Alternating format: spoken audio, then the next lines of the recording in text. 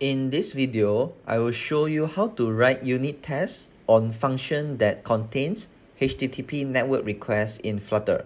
So in my main code here, I have created a function named fetchAlbum that make HTTP get requests to a fake JSON server and check if status code returns 200 pass the JSON response to an album class that I have created and return the album object. If the response status code returns other than 200, it will just throw an exception. So this is the album class that I have created according to the JSON response. And I uses factory to create a from JSON method that can be used to parse the key value pair into the data class. Before we start writing unit tests, let's call this method and check if it works by returning the data. So when I click on the elevated button, you can see that the album data is printed in the terminal. So this method is working fine. Now I will show you how to write unit tests on this fetch album function. To write unit tests in Flutter, we needed to import some packages. Firstly, we need Flutter test library. This library by default is added to your Flutter project. Next is build runner package.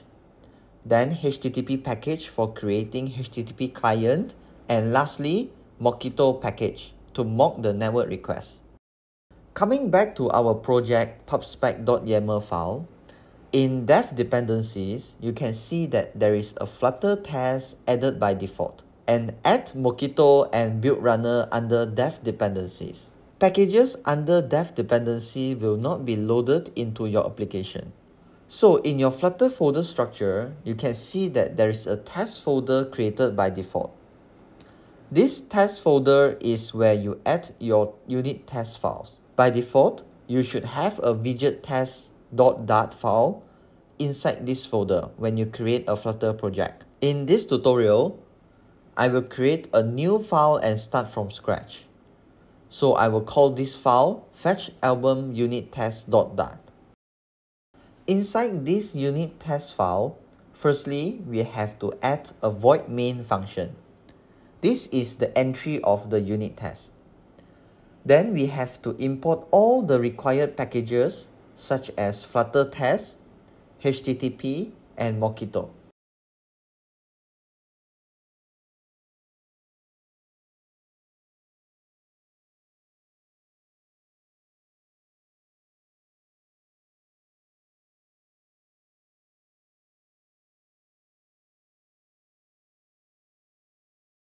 Now to write unit tests in Flutter, there are three steps to follow. Firstly, evaluate the targeted function code. So coming to our fetch album function, what does this function do? We can see that in this function, firstly, it makes a HTTP GET request to the provided URL.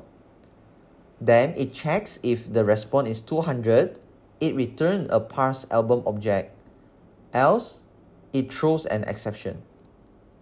So this means that this function has only two possible outcomes, either returns an album object or return an exception. For unit tests, we don't have to know much about the implementation. We focus more on testing the behavior. Coming back to our unit test file, firstly, we have to mock the HTTP client using generate mock annotation from the Mockito package. This annotation helps to generate all the required configuration for HTTP client.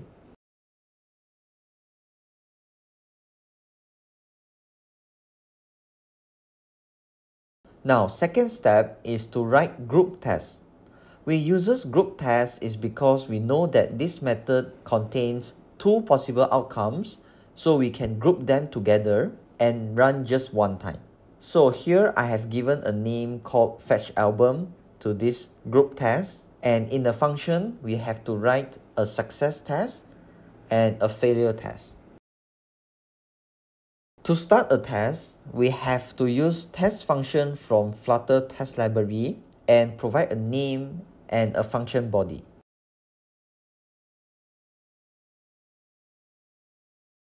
Now the third step is to mock the network request. So you might wonder why do we need to mock the network request? There are three reasons to it. Firstly, calling live services or databases will slow down test execution.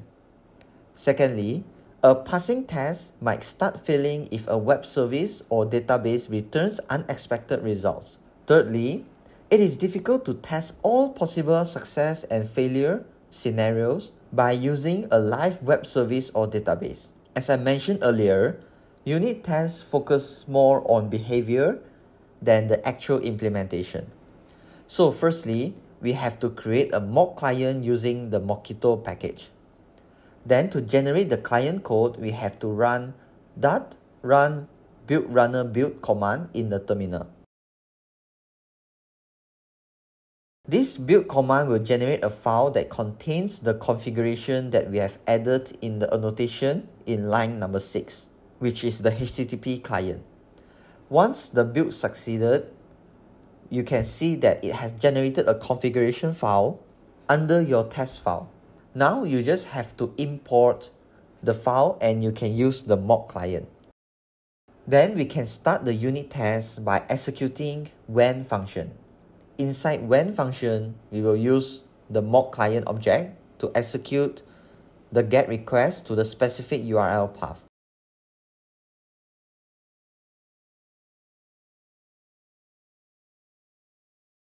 Then we have to execute dot then answer function and returns a mock response album object with 200 status code. So the success response implementation does not matter to us. What's matter is the success behavior. Now we can execute expect function which takes an actual and a matcher parameters. In actual parameter, we will pass in the fetch album function. Matcher parameter is what it expects to match with the response of actual parameter. So the matcher parameter will check if the response is an album object. Now we have completed our unit test for success case. Next goes to the failure case. Again, we will start by creating a test function with a different test name. The body function is about the same as the success case, so we can copy and paste some similar code and modify accordingly.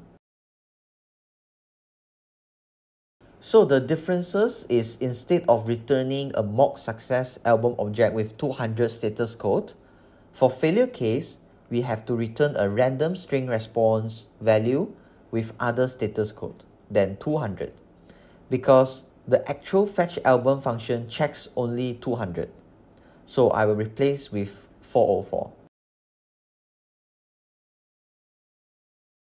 Then the expect function is about the same, it's just that the matcher now expect a throw exception. Now we have completed the unit test for failure case and our group test is now completed too. Now let's run our fetch album group test. To run the test file, we have to use flutter test command followed by the test file path which in our case is test slash fetch album unit test dot dart.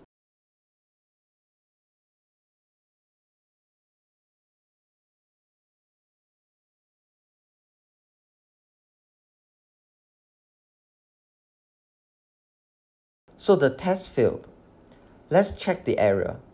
So it says type integer is not a subtype of type string error. And it happens in the success case. This is because our model has set the title as string, but the mock response that I provided has an integer value as title. So I will just convert the value to string. Now let's run the test again.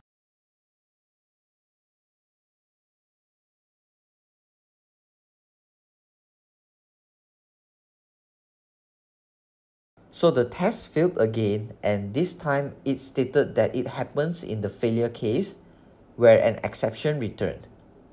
In our failure unit test, we added the matcher as throw exception rather than an exception. To fix this, you can either change the matcher to exception or remove a await in the actual function. Now let's try to run the test file again.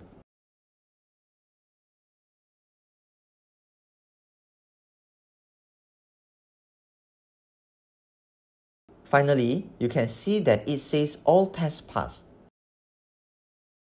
Another major benefit of unit tests is that whenever someone modify your code or you modify someone's code, for example, I change the status code check to 202, it will fail the unit test. Conclusion, this is how you write unit tests on network requests in Flutter. If you have any question, feel free to comment below. Don't forget to like the video and subscribe to our channel. See you in the next tutorial.